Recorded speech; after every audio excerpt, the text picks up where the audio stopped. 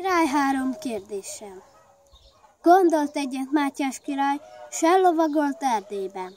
Ahogy ment a hegyek között, szép nagy faluban megállt.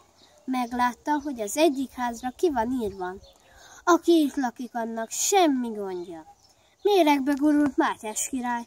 Hát itt meg ki a fene lakik, hogy nincsen neki semmi gondja. Én király vagyok, s mégis esznek meg a gondok. Mindjárt beküldött egy szolgát a házba, hogy hívassa ki a gazdát. A házban egy gazda csobán lakott, háza népével.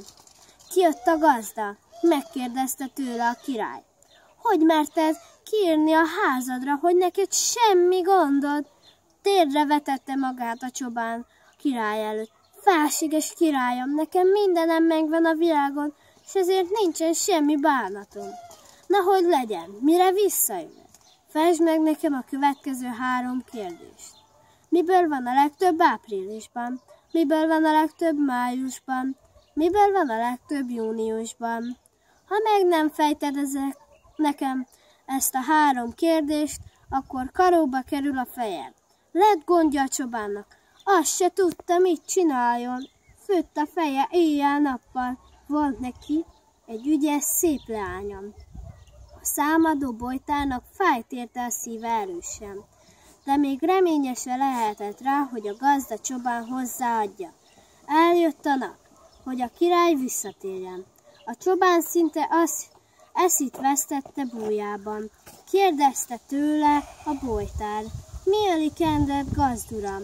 Mondja csobán, hogy mi a baj. Ezért egyet se busoljon Kent, csak adja ide a gúnyáját. Én majd megfelelek Mátyás királynak, de ígérje meg, hogy nekem adja feleségül a leányát. Megígérte a csobán, hogy ne ígérte volna. Majd meghalt félelmében. A bolytár aztán előállt a király szólítására. Kérdezte a király, aki azt gondolta, hogy a csobán áll előtte. Na te gondtalan csobán, miből van a legtöbb áprilisban? Rügy király uram, hát májusban, akkor meg virág. Felelte a bolytár. Miből van a legtöbb júniusban? Fűszál felséges királyom. Látom, jól meg tudsz felelni mindenre. Ezért azt ajánlom, hogy ezt a felírást takarítsd le a házadról. A baj mindig megérkezhet, senki sem mondhatja el magáról, hogy semmi gondja, még a király se. Mátyás király ezzel otthagyta a bolytárt, s ellovágolt a kíséretével.